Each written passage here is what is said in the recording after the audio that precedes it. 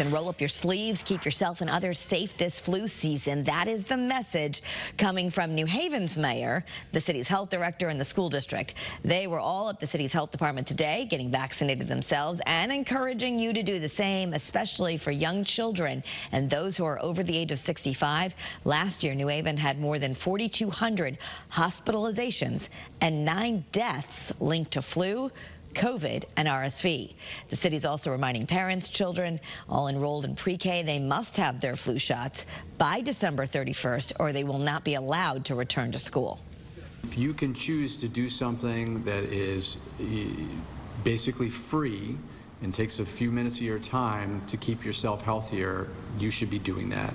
Um, second reason is because you want to keep other people healthy and safe. And if you uh, don't get sick, you're not going to give other people a sickness as well.